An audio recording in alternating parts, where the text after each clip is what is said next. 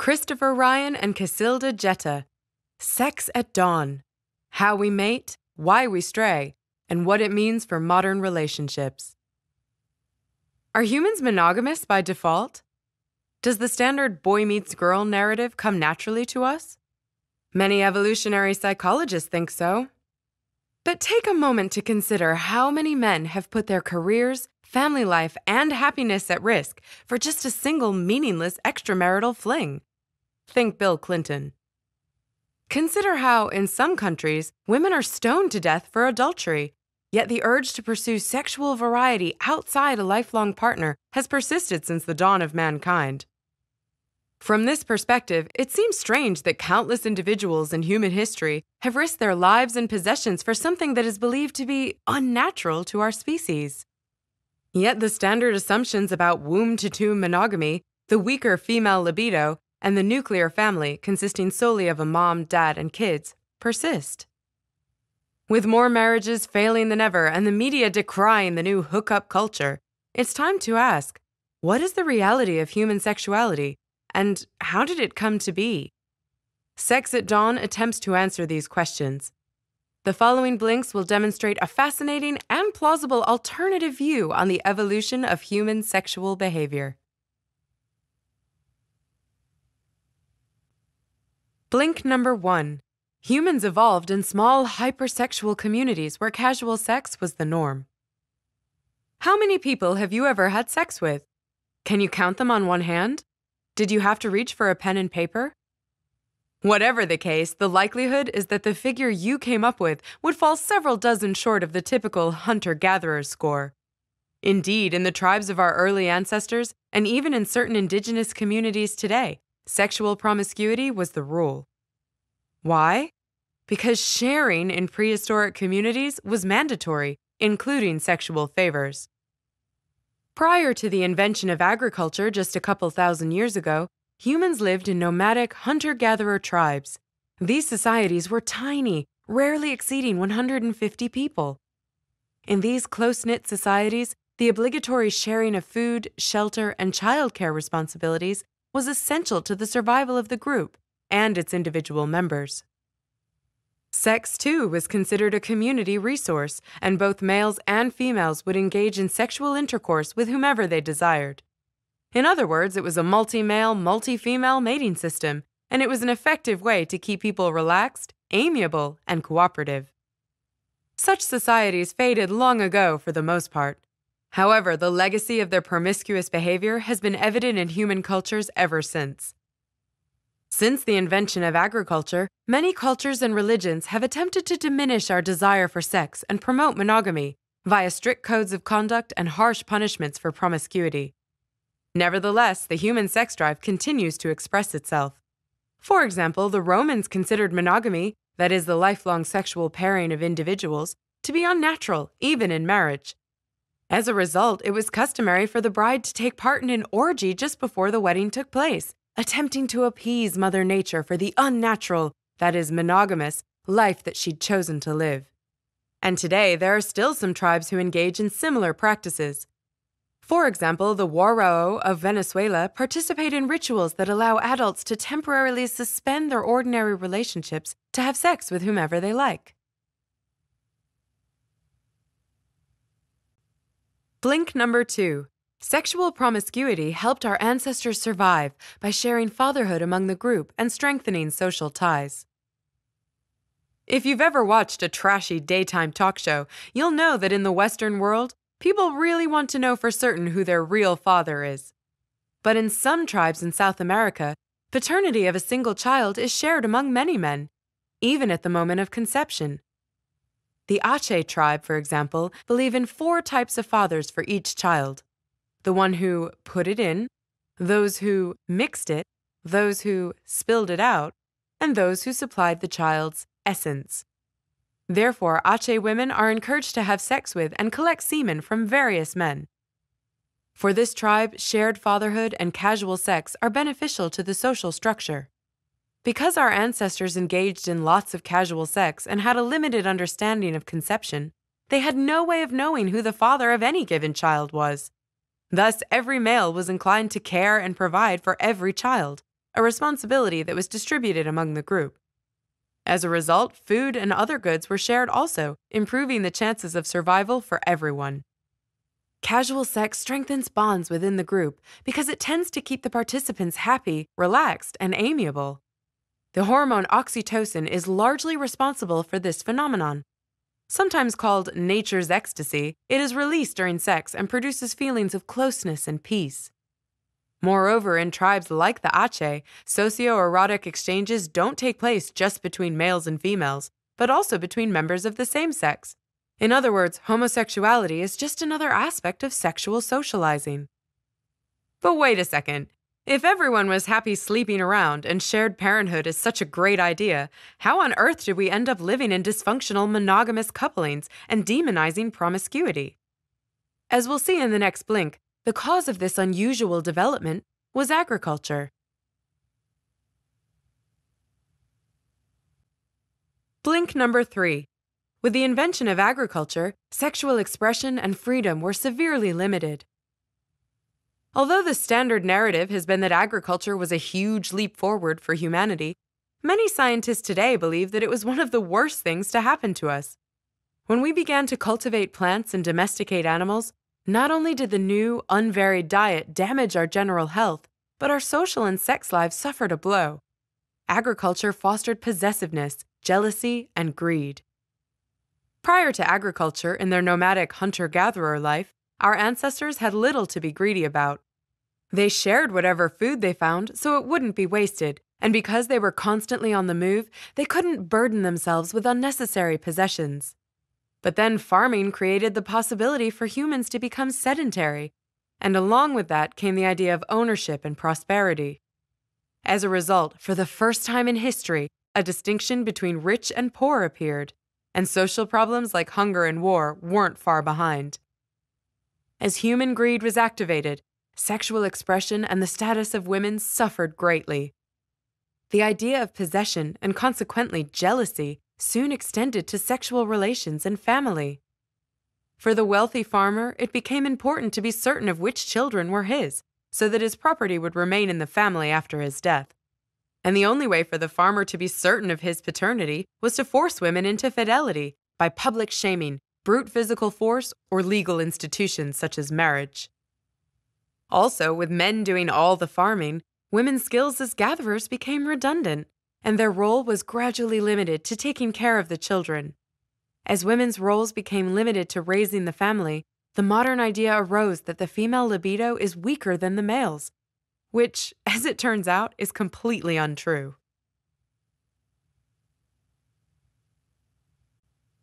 Blink number four. Women's sexual hunger is just as great and even more complex than that of men.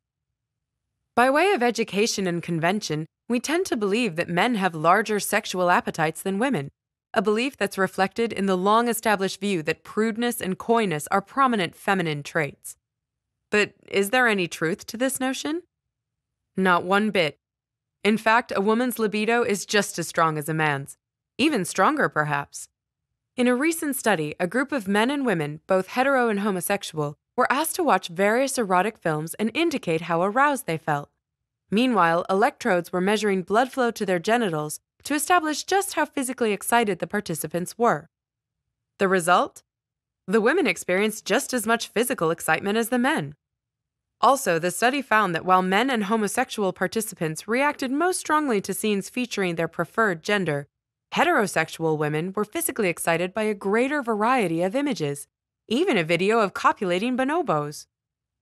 Despite these findings, the sexual desires of women are more readily circumscribed by social pressure. For instance, in the same study, though the women were just as physically aroused as the men, they played down their excitement when asked to describe their feelings. In other words, they understood exactly what was socially expected of them prudeness and so adjusted their behavior accordingly. The study indicated that female desire is more fluid than male desire, as in, women are turned on by a greater variety of things. Yet, they can also suppress their sexuality more easily. This study shows that both men and women evolved to be promiscuous creatures, which may lead you to wonder what was our evolutionary history that led to that tendency? The following examination of our closest primate ancestors, chimps and bonobos, reveals the probable social and sexual framework of our ancestors' prehistoric communities. Blink number 5. Our closest primate relatives display social and sexual behavior similar to ours. Humans share close ancestry with many primates and are the closest genetically to chimps and bonobos, whose DNA differs from ours by just 1.6%.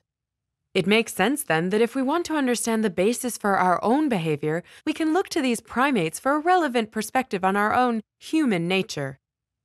For instance, bonobos and chimps have very active and promiscuous sex lives.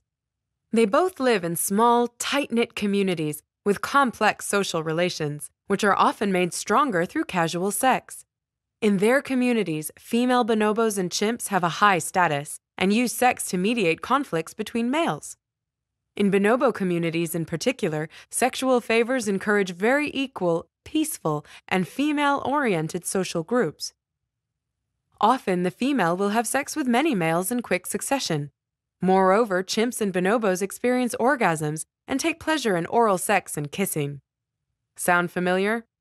That's because it's very similar to the early hunter gatherer lifestyles described earlier, in which sex was shared among all members of the community.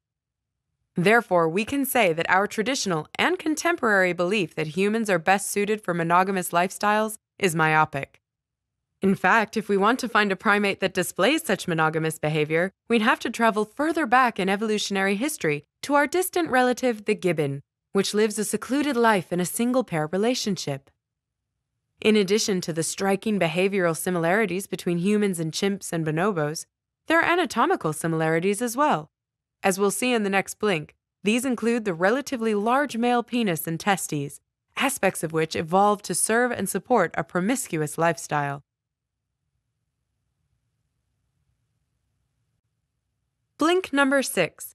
The human male's genital anatomy reveals that we evolved in a competitive mating system. The human penis is, relative to body size, the largest of all in the primate kingdom. Male testes are also large and located outside the body to keep a large amount of sperm cells at their optimal temperature. Why? As you might have guessed, these features evolved to perform a specific function in our ancestors' environment. First, the size and shape of the human penis and testes evolved out of man's need to compete with the sperm of many other men, since in prehistory, females would copulate with many men, particularly when they were fertile. The quality, speed, and amount of the male's sperm would determine whose cells would gain access to fertilize the female. Those men with larger testes, more sperm cells per ejaculate, and a better shot were more likely to succeed. Furthermore, the shape of the human penis and the thrusting motion during sex have evolved so that man can literally pump out the semen of previous men. Additionally, the first spurts of semen contain chemicals that protect that man's sperm from chemicals in other men's sperm. And size matters not only in terms of the male genitals, but in terms of the man's height as well. The height differences between men and women most closely reflects multi-male, multi-female mating. In humans, as in chimps and bonobos, the male tends to be slightly taller than the female, a trait known as body size dimorphism, because females preferred taller mating partners. By contrast, the staunchly monogamous male and female gibbons evolved to be almost exactly the same size. So we can see that our ancestors' promiscuity led to the physical development of body size dimorphism. But, as we'll see in the next blink, it has also resulted in a number of behavioral oddities.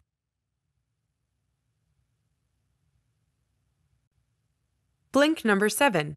Women today still display behavior suggesting their ancestors would have sex with many males in quick succession. Thousands of years have passed since the invention of agriculture and the subsequent clampdown against socially shared sex. Because those intervening millennia have involved the establishment of strict religious, cultural, and moral codes, it might follow that humans no longer bear any traits of their former polygamous nature. But actually, we see remnants of our ancestors' promiscuity. For example, have you ever wondered why some women are loud enough during sex that even people far away can hear? In the past, those noises acted as an invitation for other men. By calling out in such a way, our female ancestors signaled that they were having sex, encouraging other males to try their luck. This practice led to the sperm competition discussed in the previous blink. The moaning, the so called female copulatory vocalization, can be observed in many promiscuous animals, such as our close ancestor, the bonobo. In fact, the pleasure call of the female bonobo is so sophisticated that a male hundreds of meters away can tell the size of the male currently in action, and even the female's reproductive status. Another remnant of our promiscuous past is that women take longer to reach orgasm than men and are able to have multiple orgasms. These traits suggest that their ancestors used to have sex with several men, one after the other. While men tend to get sleepy after ejaculating and thus need a break, women can continue having sex for much longer, experiencing multiple orgasms in short intervals. The subsequent resting period was possibly an evolutionary behavior to allow for another man to try his luck at impregnating the woman. Now that we've seen the evidence of our promiscuous past, the following blinks will answer a pressing question What does our promiscuous nature mean for our relationships? Blink number eight. The idea that true love means lifelong monogamy is a source of despair and disease. When you truly love someone, you won't ever need anyone else in your life, and sex with that one special person will always be great. Right? Well, it's a nice story, but it's certainly not a true one. Just because we're able to feel deep love for a person for the rest of our lives does not necessarily mean that we'll continue to desire that person. In fact, because our ancestors evolved to have sex with anyone they liked, we're biologically programmed to seek out sex with many different partners. However, we live in the chasm between the messages of romantic comedies and Western love stories and the actual experience of being in a monogamous relationship. The disparity between the two can lead to profound unhappiness. By considering monogamy as our natural state, we often confuse love and sex. Indeed, when the media and even scientists tell us repeatedly that it should be normal for humans to love and desire just one person from womb to tomb, we tend to misinterpret a lack of lust for our partner as a lack of love. Similarly, we often confuse the sexual excitement we get from an extramarital fling with feelings of true love for that person. But the dangers of monogamy don't stop there. It's also seriously bad for your health. As studies have shown, men in long term monogamous relationships suffer a big drop in their testosterone levels. The drop happens because the male sex drive and the hormone testosterone are interrelated, so if one dwindles, the other will too. And it can lead to potentially fatal diseases. Low testosterone levels in men are associated with depression, heart disease, and cancer. In sum, it seems nearly impossible to reconcile our evolutionary nature with the ideals of our society so that they combine into one healthy, happy, and fulfilling life. This situation likely sounds depressing, but there are things you can do to help establish a healthy, happy relationship, despite the stigma surrounding promiscuity. Blink number 9. A more open discussion of sex, monogamy, and infidelity could benefit individuals and society. The breakdown in our traditional understanding of love is a direct result of the disparity between our culture's promotion of monogamy and our actual biological desire for sex with different people. How do we bridge the gap? Like any social issue, we should start simply by talking about it. First, the popular misconceptions around love and sex should be identified and questioned openly. Views on sexuality and family structure that bring the prevalent ideal into question should be discussed more frequently by scientists and in the media. Also, couples should talk openly to each other about their sexual desires and fantasies. Second, a wider acceptance of masturbation and adolescent sexual relations would help people as they deal with the hormonal upheaval that occurs in their teenage years. Indeed, studies have shown that not taking pleasure from one's own body is closely related to interpersonal violence and taking pleasure from one's own body is especially critical while going through puberty, as levels of sex hormones are far higher than at other times of life. So, rather than demonizing any expression of teenage sexuality, such as the relatively recent condemnation of masturbation via religion and education, adolescents should receive a broad education on sexuality. Furthermore, they should be encouraged to experiment with whatever sexual acts they feel comfortable engaging in. For example, in India, adults of the Muria tribe establish teenage dorms where adolescents are free to explore their sexuality together, unsupervised. Finally, it's crucial we remember that, though sex is important, we shouldn't take it so seriously. After all, sex is merely a biological impulse, and our sexual behavior a remnant of our hypersexual primate nature. This impulse and behavior should not be confused with the mutual understanding, affection, and intellectual connection characteristic of long term love. You just heard the blinks from Sex at Dawn by Christopher Ryan and Cacilda Jethá. The book's main takeaway is that both men and women are promiscuous by nature and evolve to have sex with many different partners. The monogamous mating system based on the nuclear family structure is culturally constructed and doesn't fit with our natural tendencies. Yet false beliefs about sexual fidelity and true love prevail and lead to frustration and sometimes even disease. So, how can you apply the concepts of these blinks to your own life? Even though it's essential to your nature, don't take sex so seriously. It's important not to mistake lust, neither yours nor your partner's, for love. Sex is an impulse that's hardwired in our nature through evolution, while love is the result of years of lasting affection, mutual understanding, and joint effort. So, opt for a more relaxed, casual, and liberal approach to sexuality. Perhaps you could have an open and honest conversation with your partner Maybe even consider alternatives to sexual exclusivity and the nuclear family household. Well, before you leave, don't forget to subscribe to Books in Blinks and leave your thoughts in the comments section below. Also, check out the other titles in our playlist.